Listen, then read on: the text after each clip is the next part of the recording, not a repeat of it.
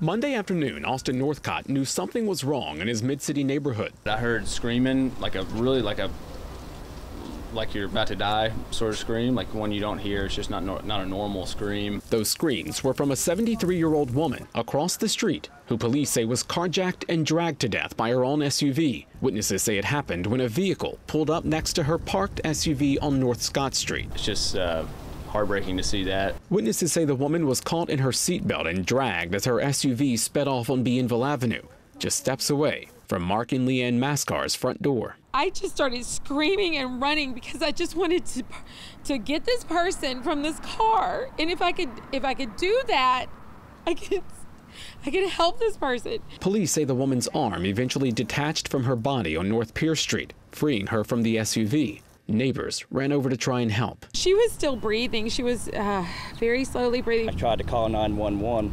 Unfortunately, the phone rang for over four minutes and 45 seconds before I hung up from 911. Todd Ecker says someone eventually got through. Mascar says it took 10 to 15 minutes for paramedics to get there. She's still breathing, I could feel a pulse.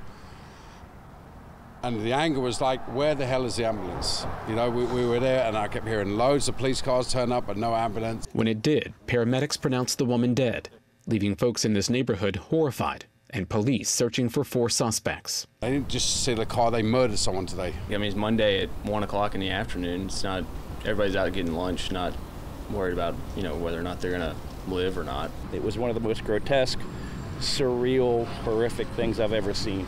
Complete recklessness, abandon, no regard for human life.